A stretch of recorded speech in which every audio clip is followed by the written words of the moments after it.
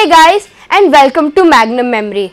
My name is Shubh and today we have memory specialist, Guinness World Record holder, squadron leader Jayasimha with us. Countries and capitals. Oof, there's such a headache to remember.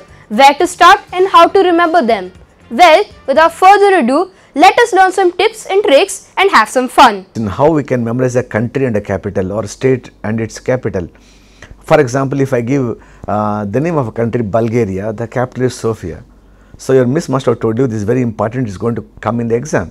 And we say, ma'am, then what I should do? She says, what you should do? You should try and memorize. How?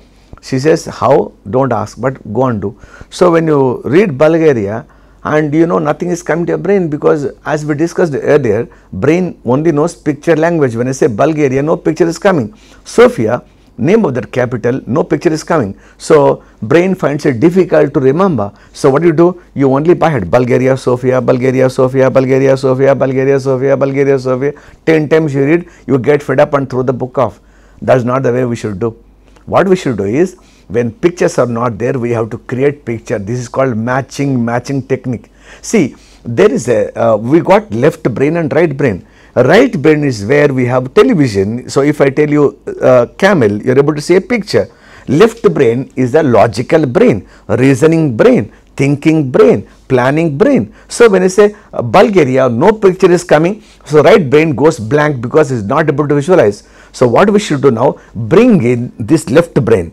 So when you send the bulgaria ask this brain left brain bulgaria you have a picture? It says i don't have a picture. Ask this when i say bulgaria uh, are you able to imagine something it says bulgaria b u l g a r i a bulgaria means what bull no Giria I don't know gir gaya when you say Bulgaria means bull gir gaya that's what I get a picture Sofia what is the picture sofa so just imagine now bull गिर गया कहाँ पे गिर गया sofa के ऊपर गिर गया so imagine you went home and so many TV people are there outside your house and then all of them are there and imagine one bull ऊपर से नीचे गिर गया and just कहाँ पे गिर गया सोफा के ऊपर is giving one kick to your father and so bull गिर गया Sophia so next time when it comes Bulgaria all that you should do is ask bull Bulgaria what is there so you know Bulgaria means bull गिर गया कहाँ पे गिर गया sofa so Bulgaria means bull गिर गया कहाँ पे गिर गया you know sofa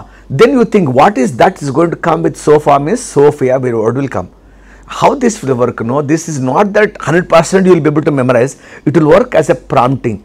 See most of the time you see uh, you- when i was a kid i used to play dramas and we used to memorize the entire you know set of dialogues. And when we are on the stage maybe because of stage fear looking at people we tend to forget. So there is a big screen and there is to be one guy here there is one more guy here holding the dialogue book. And when i am playing the role of you know Duryodhan and suddenly I forget dialogue, he will tell me the first word. So the moment I get the first word, then I will be able to remember the entire dialogue. So that's how it works as a prompting. Sometimes has it happened to you, Mama asked you a question, suddenly you say, Mama, I don't know. You tell me first word. Mommy will tell you first. Ah, mommy, you wait, wait. I'll come. It means you you have the starting trouble. So the moment you get sofa means Sophia will come automatically. For example, if I tell you one word called you know uh, Philippines, uh, and then the capital is Manila. Philippines means what? I get a, something called Philips. What is Philips? Is it electronics company? They make television, tran, transistors. They make you know maybe uh, tube lights, all electronic gadgets. Manila. So imagine money. Money means paisa.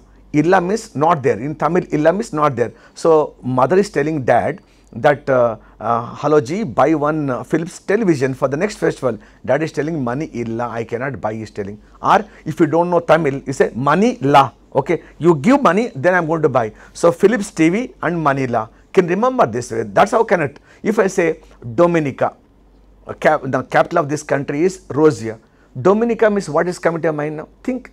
Dominica means Domino's Pizza. Imagine one girl has gone to eat Domino's Pizza and that one Anna came and gave one rose flower he is telling I love you and imagine Akka gave one kick on his back go and pay the bill. So imagine Domino's Pizza uh, now Akka eating and rose is being given by one Anna telling I love you. Very funny. So the more funny, I am not teaching you anything vulgar and those of you parents listening to me don't think Jason is trying to teach something wrong. No, anything that's funny, you'll be able to remember. That's how you'll get. If I tell you Iran, the capital is Tehran. Iran, I ran. Bhaga. Tehran means tu ran. I ran, tu ran. Iran, Tehran. Iran, Tehran. I ran, tu ran. That's how you get very easily. If I tell you Norway, the capital is Oslo. Norway matlab no way. Means रास्ता नहीं है वो slow means go slow no way go slow no way go slow that's how i connect them for example if i say greece the capital of greece is called you know athens Greece means I know in Telugu I got that some Greek Virudu Nagarjuna. Athens means Athene Greek Virudu Nagarjuna. So Greece and Athens both of them I imagine in my brain. You understand? Recently I had been to Bhutan. The capital of Bhutan is Thimphu. I did one program for the king of Bhutan and his family. So Bhutan means what? I got this word called button. Okay. Thimphu means like I don't know which uh, part of the country you are listening to me. I don't know. In if you come to Telugu, Thimphu means what? You know, I get something called Tempu. Tempu means like you know when two people fight. Button Tempu means like he he actually tore off my shirt and button fell down. That's what it is. If not Bhutan means Butta. You know, Butta means something that's one lady is carrying.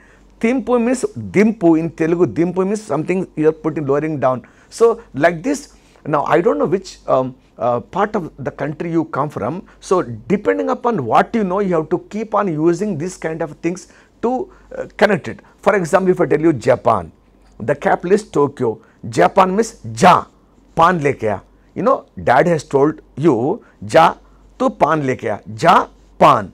So, Tokyo means now, now he went, he went, he went, he went, he went. In Telugu, I imagine Tokyo means toka means tail wagging and he came back saying that it is not there.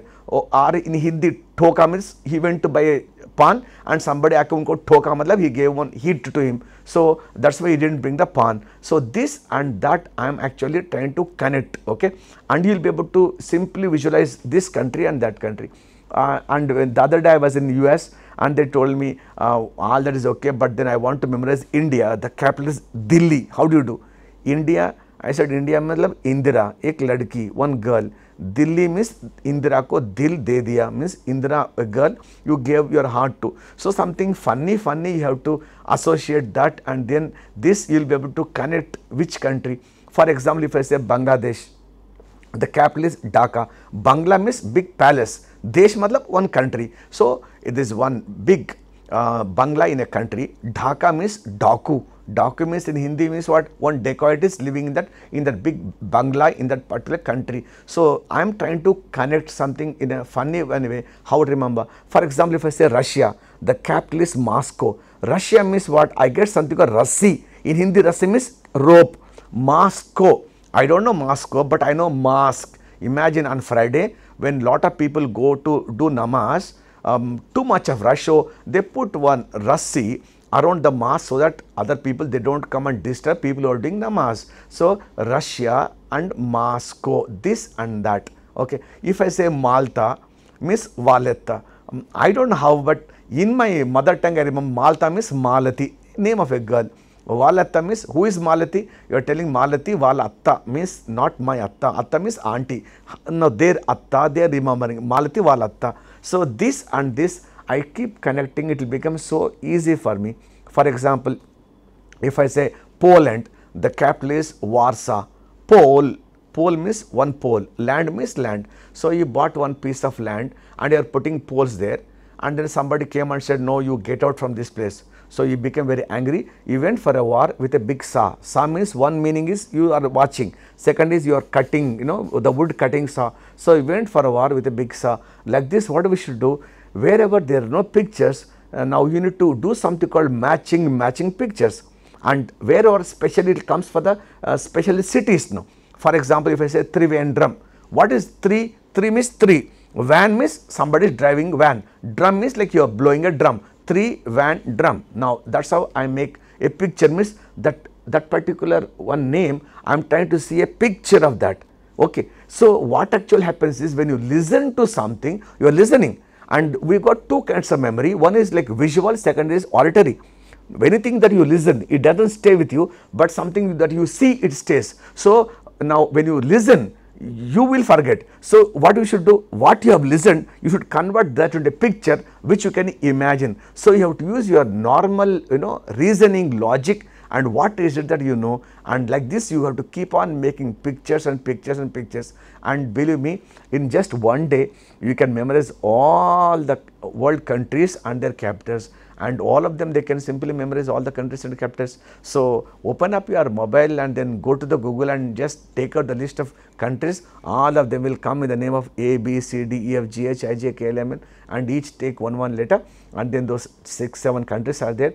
Take that capital and then just see how you can connect both of them and then use it okay. So it's not necessary that you should use my method. Okay. So only thing is you should understand the logic behind it. So if you are a tamilian you are a hindi person you are a marathi person or you are an english person doesn't really matter. So your background knowledge will help you to see what is it that i it is coming to my mind what is it that is coming to my mind. So, that picture you must see and then connect both of them and that is how you can memorize all the countries and capitals. Similarly, country and parliament, country and what currency, country and name of the president, though your GK current affairs will become so easy. So, have you understood friends? Study is so easy if only you know. You know, it is like your dad has gifted you a bike and for your last birthday and then you don't know how to drive, you need to uh, go with the bike. So, what do you do? You tie a rope to your bike and keep dragging it on the road. Not only you will suffer, but people who watch they will laugh at you. But imagine you got a bike as a gift for your birthday and you know how to drive and they will be uh, there on the outer ring road, you are on the Tank Bund, you are there in the, you know, um, uh, on the highway, you are happily driving. Brain is a beautiful gadget.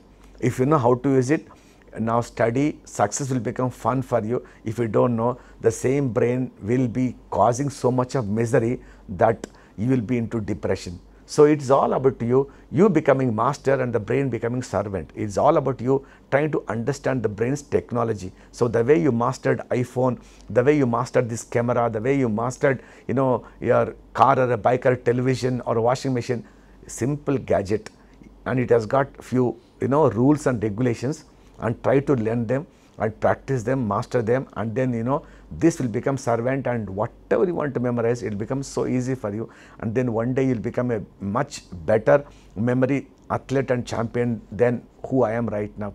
Okay. So, only thing is you need to keep practicing it alright. So, thank you friends we will meet up again till then keep smiling bye. Really? It was that easy? I wish I had known this before. Anyway, like, share and subscribe if you want to see more stuff like this later on. Don't forget to comment down below what you think our next video should be and ring the bell icon. Bye.